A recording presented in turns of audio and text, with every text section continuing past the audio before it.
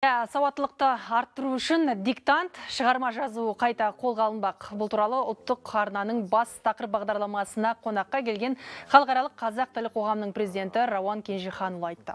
Ол президентпен кездесуінде мектептегі қазақ тілі мен әдебиеті пәнінің оқытылуы жайлы сөз қозғалғанын айтты.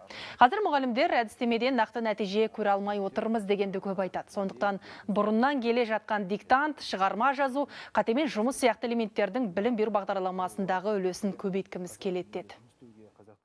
бұрынғыдан келе жатқан диктант жазу шығарма жазу мазмұндама жазу қатемен жұмыс істеу деген секілді элементтерді қайтадан қайтарсақ олардың үлесін білім беру бағдарламасында көбейтсек деген сияқты. Соны біз олимпиадалар арқылы бейтарап ә, анау жаңа бағдарламаға килікпей бірақ балаларды оқушыларды оқытушыларды қызықтыру арқылы ә, осы байқауларға келгіміз келеді. Сөйлем талдау диктант не болмаса шығарма жазу деген секілді.